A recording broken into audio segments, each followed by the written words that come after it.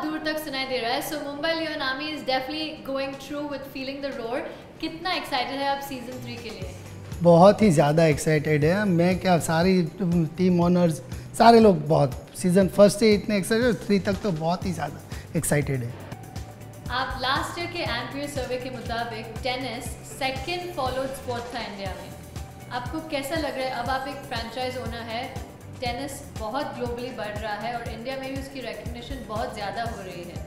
आपको एक proud feeling लगता है? हंड्रेड परसेंट सीज़न फ़र्स्ट से हम लोग देख रहे हैं इसकी प्रोग्रेस सीज़न थ्री तक और बहुत सारे लोग जुड़ रहे हैं बहुत लोग एक्साइटेड कर रहे हैं गेम एंजॉय कर रहे हैं हम भी एंजॉय कर रहे हैं तो हम तो बहुत खुश हैं इससे।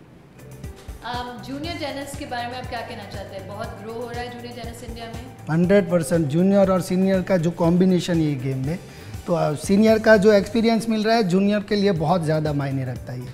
और बहुत टैलेंटेड लोग आ रहे हैं जूनियर से अभी। हंड्रेड परसेंट हम तो चाहेंगे ही मुंबई के लियोन आर्मी की टीम से कोई इंटरनेशनल प्लेयर निकले तो हमारे लिए तो सबसे बड़ी बात वही है। हमारा सोच ही वही है।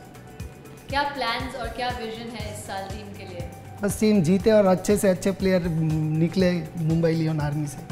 क्या कहना चाहते हैं आप दूसरे टीम्स के लिए? All the best for a runners up champion is here. Oh.